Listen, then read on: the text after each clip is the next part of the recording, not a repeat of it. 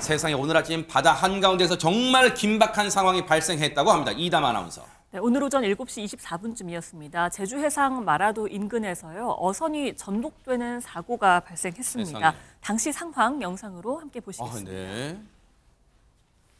네, 바다 한가운데 뒤집어져 있는 어선, 당초 이 배에는요. 10명의 선원이 타고 있었습니다. 세상에. 사고 발생 약 1시간 뒤에요. 현장에 도착해서 선체에 접근한 해경은 선체를 두드리면서 정말 필사의 구조에 나섰습니다. 아, 저 위에 계신 분이 해경인가 봐요. 맞습니다. 어. 밀려드는 파도를 온몸으로 맞으면서 어머나. 한시라도 빨리 선원을 구조하기 위해서 애를 쓰는 모습입니다. 세상에 지금 저 뒤집힌 배 위에 올라가서 선체를 두드리는 해경분의 지금 안전 상태도 위태로워 보이는 상황인데 장윤비 변호사님 선원 분들은 전원 구조가 됐을까요? 걱정됩니다. 그러니까요. 선원 10명은 한국인 5명 그리고 베트남인 5명으로 구성이 돼 있었는데요. 이 중 8명은 인근 어선에 의해서 구조가 다행히 됐습니다. 어허. 하지만 선장을 포함한 한국인 2명 실종된 상태고요. 어머나. 구조된 8명 중 한국인 1명은 심정지 상태로 구조가 돼서 헬기로 병원에 이송됐지만 결국 오전 10시 7분쯤 사망 판정을 받았습니다.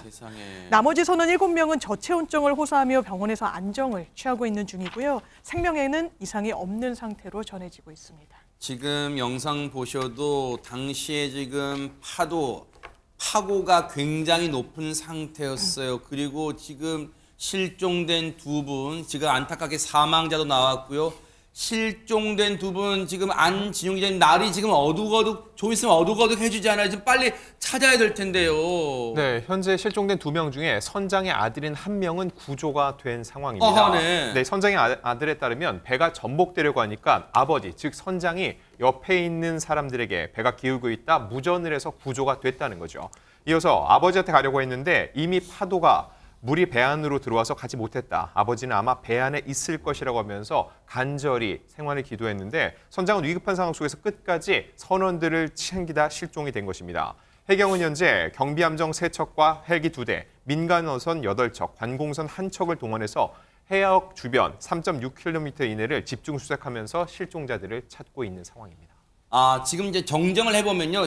여전히 실종자는 두 명인 상태가 맞는데 그 실종자 두 명 중에 한 명은 선장, 저배 선장인데 구조되신 분 가운데는 그 실종되신 분 선장의 아드님도 포함이 되셨어요. 그래서 일단 지금 선장님을 포함해서 나머지 한 분, 즉 두 분은 여전히 실종 상태고 지금 해경이 인근 해역을 샅샅이 수색의 박차를 지금 가하고 있는데 앞서 말씀드린 것처럼 날이 지금 보세요. 지금 5시가 다 되는 시간이다 보니까 조금 있으면 날이 어둑어둑해지기 때문에 더 지금 마음이 조급해질 것 같습니다. 속도를 내야 될 것 같은데 지금 앞서 영상 봐도 한눈에 봐도 바람도 많이 불고 파도도 정말 너울이 많이 치고 있었어요, 진짜. 사실 지금 어두워지는 것보다 더 큰 문제가 그 저곳의 상황인 것 같아요. 우리가 처음에 아까 영상 처음 봤을 때 엄청나게 파도가 심하게 치고 해경 한 분이 이 선내 이거 두드려봐야 아니까 그거에 매달려도 굉장히 힘겨워 보이지 그렇죠, 않았습니까? 맞아요. 지금 초속 16에서 18m 강풍에 파도도 지금 4, 5m 정도 높게 치고 있는 어, 지금 세상에. 보시면 이제 저런 상황이기 때문에 사실 아까 그, 그 지금 실종된 선장의 아들의 얘기로는 아마도 아버지가 저 배 안에 있을 것 같다는 얘기를 했지만 아. 선내 진입 자체가 좀 쉽지 않은 그런 상황입니다. 세상에. 일단 수색 작업을 위해 투입된 해경 소속의 항공구조사 박수훈 경장 같은 경우 어, 선내 생존자 확인을 위한 작업 중에 너무 높은 파도에 휩쓸려서 지금 중상을 입고 헬기로 후송이 돼서 지금 치료를 받고 있는 그런 상황이라고 합니다. 세상에. 굉장히 쉽지 않은 상황입니다. 그러네요. 구조에 나선 해경분들도 앞서 말씀드렸죠. 해경분들 지금 안전 문제도 위태롭게 지금 위협을 받고 있는 상황이다 보니까 여의치가 않은 상황이지만 그래도 지금 저 실종되신 분들의 가족분들 애타는 마음을 위해서도 아마 지금 계속해서 수색의 박차를 가하실 것으로 믿습니다. 정말로 그런데 전현 평론가님 어쩌다가 저렇게 큰 배가 뒤집히는 사고를 당한 걸까요? 예, 정확한 원인은 앞으로 수사를 통해서 규명이 될 것으로 보입니다. 다만 추정해 보건데 이날 워낙 파도가 강했기 때문에 일부분 영향이 있지 않았을까 이렇게 추정이 되고 있는 상황인데요.